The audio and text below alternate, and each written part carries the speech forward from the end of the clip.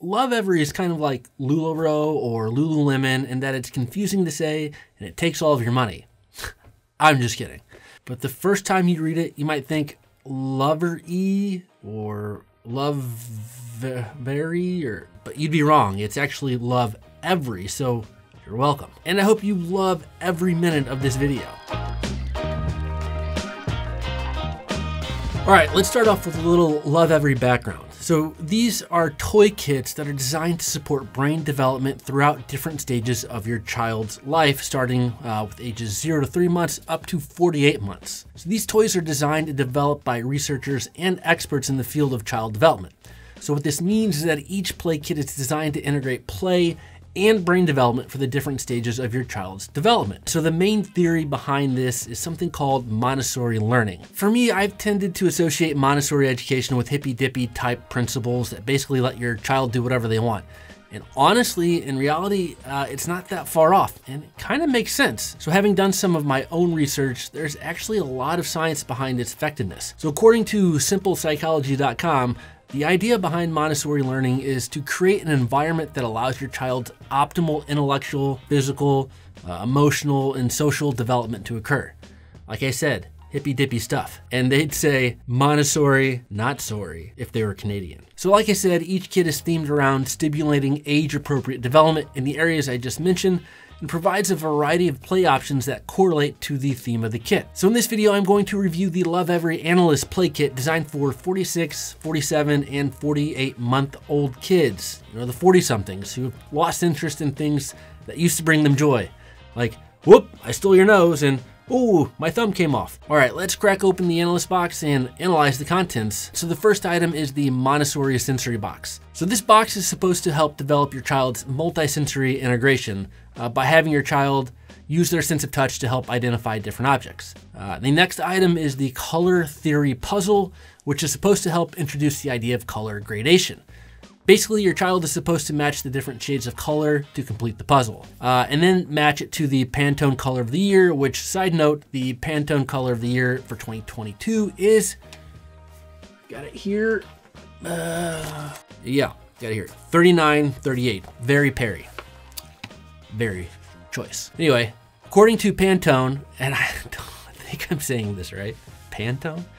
Sounds like a bread think it is a bread. This depressing dusty lavender color encourages personal inventiveness and creativity. Sounds like Montessori to me. All right, up next, you've got the sewing kit, which is pretty straightforward in that it helps develop your child's fine motor skills. And when it comes to fine motor skill development, they reap what they sow. With this, there are different patterns that you can put over the hoop, but in full disclosure, those have gone missing. More on that later. A lot of things have gone missing. And after that, we've got the pattern match boats and card set. So the idea here is that your child starts to learn how to translate 2D objects into 3D objects, uh, basically turning them into a 3D printer. So how it works is that you take a card and tell your child to create what they see on the card using the boat objects. Uh, I'll take time to note here that how to do it section in the guidebook for each activity takes special care to also state that letting your child play with the items in whatever way they wish is perfectly acceptable. As the Montessori Mandalorian would say, it is the way. Lastly, and the section of the kit that I'm going to highlight in a little more detail later on in this review are the visual recipe cards that can be used in conjunction with these stackable cups that also come in the kit. There's also a super cute Montessori book, storybook, sorry, got Montessori on the brain, uh, that details a little boy's introduction into quarters, halves, and wholes called quarter, half, and whole. At first, I was super skeptical about the whole idea of introducing uh, basically fractions. However, as is noted all over the guidebook, everything in this kit is merely meant to act as an introduction to different ideas. In no way, shape, or form is your child expected to walk away from the activities having mastered the principles you introduce. Now, that made me feel a whole lot better because I barely understand fractions, uh, let alone how to explain it to my four year old. Now, we need a third of a cup. So, this is a whole, this is the half, and then half of that Oop, and then now we need the third of a cup. I don't even know what I'm talking about. And this gets me to what I feel like is the most important aspect of any kit you receive, and that is the guidebook that uh, I mentioned several times now. Basically, this book teaches you how to engage and interact with your kid using the toys provided in the kits. Not only that, but uh, the book provides a whole lot of other activities you can do with your kid to help reinforce the ideas introduced with the toys and the play kits. So if you're like me and not very imaginative when it comes to figuring out different ways to play with your kids, then this guidebook is going to be great for you. Now, if you think about it, while the toys may get misplaced or eaten by family pets or whatever, the ideas in this book can still be put into practice by using other items you find around your house. And it's also a great teachable moment when that happens to say, hey, we used to have the whole box, then Ernie ate half, and then you lost the other quarter, and now we're making boat shapes from toilet paper rolls, and that's still awesome. And maybe more importantly, it's an extremely valuable reference for you as a parent to not only educate yourself and how to use these extremely practical principles uh, that are going to be vital in the positive development of your child, but also help you understand the why of what you're doing. So, long story short, this thing is great. All right, so what was my experience using these kits? I'll start off by saying that I tend to be a bit caveman brained when it comes to principles and theories like Montessori education. These kits are actually great for me. One, like I said, it helps me interact with my kids, and I guess I'll call it a more cerebrally stimulating way. Uh, plus, it helps me come up with other activities to do when things start to get stale. So I definitely had a positive experience. And I'll speak for Calvin here, because uh, he's a bit camera shy. Uh, I feel like he got the most value out of figuring out his own way of playing with the toys and not necessarily the ways that are described in the guidebook. And that made him happy, and I was just kind of there throwing in concepts that the book details along the way. So like Calvin would be putting the pieces in the puzzle, and I'd be like, hey, did you know that the different shades of blue you see is called color gradation? And he'd be like, yeah, duh. But the activity he enjoyed the most was using the fraction cups, but mostly because it allowed him to bake, an activity that he is always wanting to help out with, but rarely, if ever, gets to participate fully in. So what I'm going to do now is play some clips of Calvin and I using those cups um, in recipe book to make the granola bar recipe. A half a cup of dates. So if this is a whole, which one is a half a cup? That's a quarter. That's a third. Half a cup. All right, says we need to use the spatula. Can you grab the spatula from the pile there? Right here. Sure. Oh, I, I will do this. That one? Okay. All right, give me a scoop of almond butter. Ooh. Do we have enough? Mm -hmm. Is that up to the up to the top? Daddy, Daddy. We need to add some more. Need some more. Why not? But we need to, according to the recipe. This is where my control starts to take over and I need to take a breath.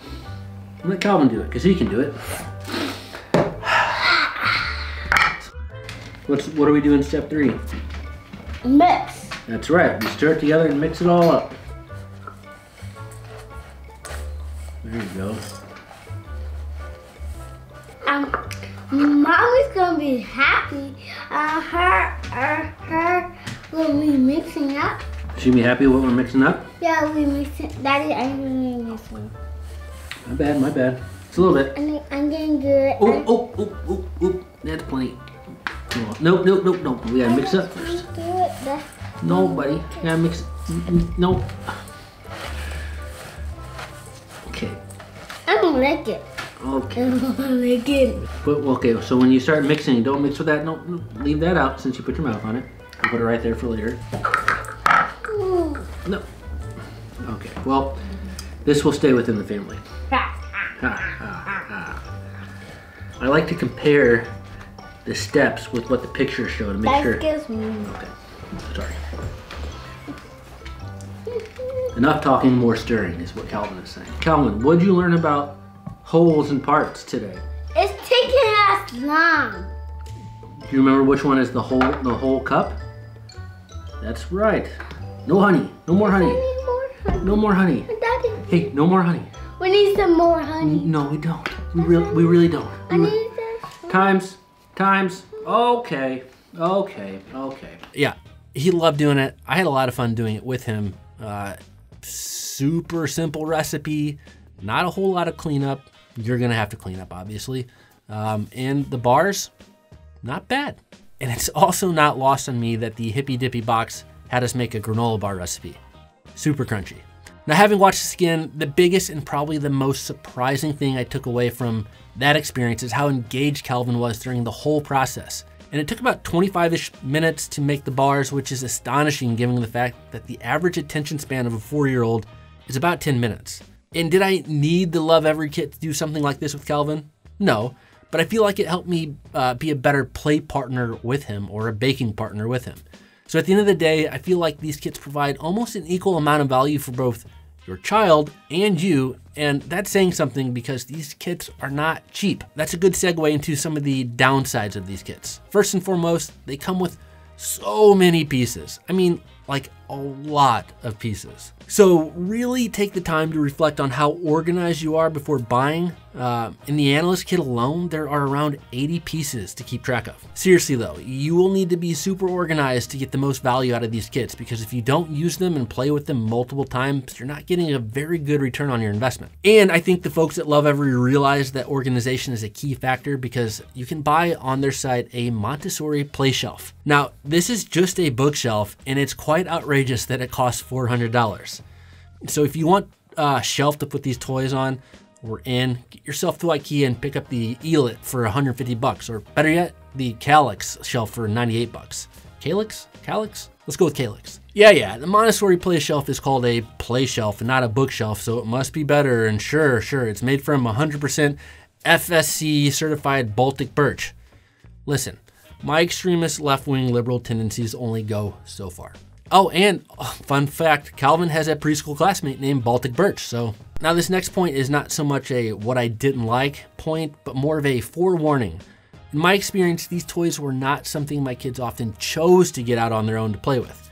I had to put in work to get them out myself in an attempt to uh, get them to engage with the toys.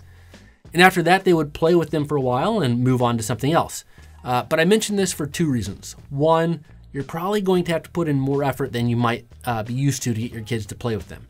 And two, these are not cheap. So if you don't actively decide uh, to get these toys out, the kits can become uh, one and done type of item. So individually, each kit from the stages of zero to 12 months is 80 bucks, but you can bundle them and make them a bit cheaper. So the kits for the 13 to 48 months are more expensive at 120 bucks per kit. So like I said, th these are quite an investment when all of this is said and done, uh, the question becomes should you get these kits? I would highly recommend at least trying one of them, especially as they get into the 13, 14, 15 month stages. I think you will be amazed at what you will get out of these kits, let alone what your kids will get out of them, but uh, just get yourself organized beforehand. So, uh, any questions that you have on these kits, please leave them in the comments below. And while you're at it, use your multi-sensory skills to seek out that like and subscribe button and give them a tap. Good job. Also, if your own brain could use some stimulating or your husband's could, you might be interested in the thought provoking dialogue and engagement with other dads you'll get with our new online community. It's our own little place for dads to hang out, talk about wins. Yeah, I need a snack. You need a snack? Okay, I'll be right there. A lot of slow motion videos of things being demolished. Uh, you know, the good stuff. It's basically a place to connect with other guys who are going through the same stuff you are. So head on over to fathercraft.com slash community to learn more about it. That's fathercraft.com slash community. I look forward to hearing about your tallest block towers and seeing you in the community. And I will also see you in the next video.